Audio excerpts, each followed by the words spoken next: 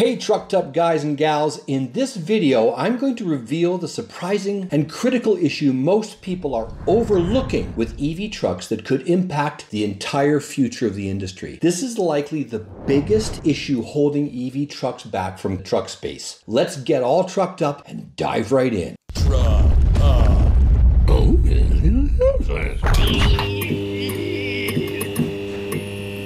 we know, EV trucks are growing in popularity, but not at the rate they could be. We've all seen the headlines about plummeting interest, and although most of that is inaccurate and demand is still growing, but just not at the expected rate, there is no doubt that many truck owners, when it comes to making a new purchase, are still holding off on taking the EV truck plunge. So why is that? Many truck folk have serious concerns, usually about reliability, range, and charging times. I've covered many of these in previous videos, but that's not actually the biggest problem. The challenge facing EV truck owners isn't the truck itself, but what you face when you get these things on the open road. And no, it's not about chargers being so hard to find, you'll need to carry a massive generator and some kind of backwoods survival food kit with you. And no, it's not forcing you to take roadside yoga. Green pose with the, the one with the foot over the back balance one.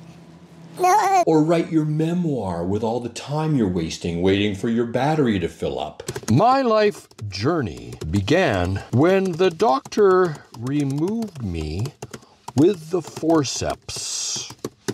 Oh, I, that's good. I like that. The main problem is that the focus on battery technology is overshadowing the charging infrastructure specifically as it relates to EV trucks. Batteries are already sorting themselves out. But I just spoke to a couple yesterday who really want an EV truck in that it suits most of their needs, but they have to go on the road as much as once monthly, often with a trailer, and they have to travel 1600 kilometers or 1000 miles on those trips. The reality is that currently that is close to impossible to do with an EV truck, and here's why. Charging infrastructure is critically important for the widespread adoption and success of EV trucks. The greatest challenge lies in one or a combination of the following three things, with number one being the most critical. Number three, charger output and reliability. There are a lot of chargers out there once you know where to look. It's not like when you drive down the highway and you have the big gas station sign ahead. No, no, little, little e sign. It's on your little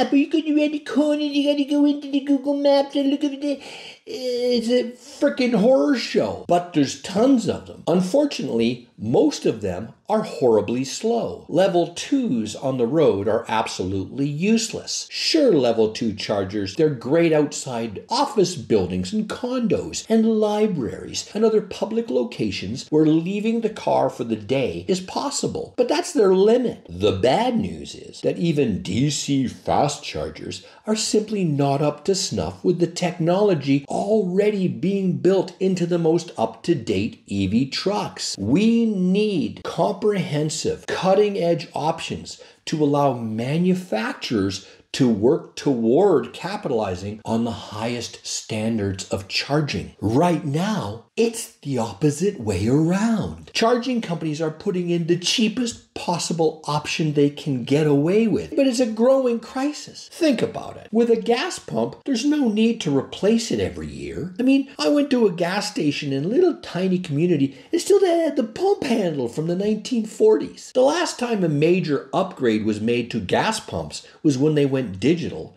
and then again when pay at the pump was introduced. Now, just imagine the massive massive cost to having to replace your entire network of chargers every time the tech advances. That's nuts. The charging industry is working in reverse. Remember that famous line from the movie Field of Dreams? If you build it, they will come. Uh, uh, okay, I admit that most of you uh, weren't born before the Battle of Midway and thus see my uh, references as well. Uh, what's the word I'm looking for? Old. But anyway, it, it's a great freaking quote, and, and it's applicable here. So, ugh. rarely can I charge at the maximum level possible on my Lightning, which is is relatively old tech and considered slow at 155 kilowatt charging rate. What does that tell us? If the charging industry doesn't build it, no one's coming. Number two, the gas station. Remember when gas jockeys would run out with smiling faces and their tidy spot free uniforms and fill up your tank, wash your windows, check your oil and tire pressure,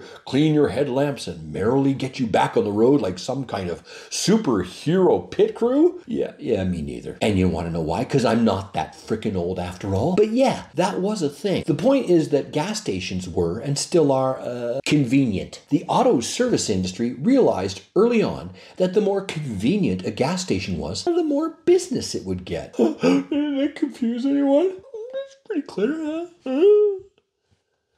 Fast forward to today, and you can basically buy your own meal, snacks, drink, gets a little bit of rest and relaxation, and sometimes you don't get your groceries along with doing your banking, using the washroom, hell, even trading your stock in Bitcoin for crying out loud, all at the once traditional gas station, and all while your truck is filling up with the trailer in tow, with another pump available to fill up the ATV, motorbike, or applicable man toy dangerously lashed to some often legally questionable part of the vehicle or trailer. And if that wasn't enough, there might even be a septic station to empty your gray and black water tanks in and fill up potable water for your next camping stop. None of this, zip, nada, exists at any charging station. Did these geniuses somehow overlook, I don't know, the entire history of road trips and driver needs? Oh, Oh, yeah, I, I forgot. Yeah, yes, they did. No bathroom, no convenience store, no snack bar. Usually you're greeted by a curb of a parking lot facing nothing but the road you just pulled off of. This is ballistically stupid, but the ultimate in frontal lobotomized charging station planning has to be the lack of a pull through. No truck is viable as a truck unless it can go the distance doing the very things that it was designed to do. This is number one. Remember that lovely couple I mentioned in my community that wanted to buy an EV truck but couldn't? This is why 100%. But what now? With the cost of these chargers being so restrictive to just go out and replace thousands of them, how do we get an industry that isn't that enthusiastic about replacing their insanely profitable internal combustion engine trucks with a network that services the new ones they're basically losing a pile of cash on? This is not a small matter. This is the billion dollar brewing that could technically kill the electric pickup truck. And thus, this is a pivotal moment. And as we can see, it has almost nothing to do with the trucks. As I pointed out in my video on trailers coming to market, to dramatically change the range available for towing, the solutions will come from what is done beyond the manufacturing process. The future of EV trucks is almost solely dependent on the development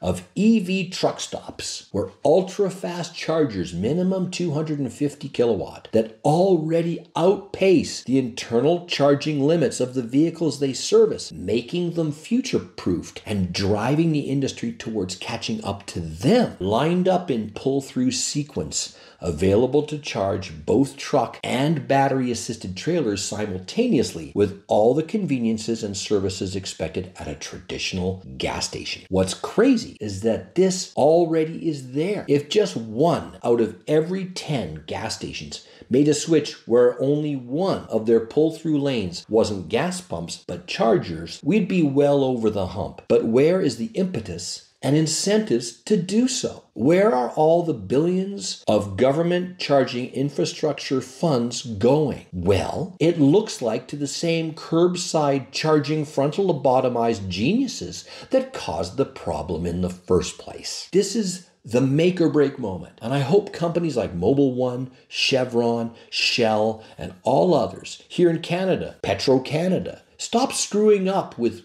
more curbside, uselessly slow DC fast charger installs, and take the plunge that will truly revolutionize the EV truck future. And I need to hear from you on this critical point for EV trucks. What's happening on your end of things? Do you own an EV truck? And are some of these things really holding you back? Are you thinking about a new purchase? And this is the reason you're not going to go for an EV truck. I want to know those things. I encourage you to share your thoughts in the comments below.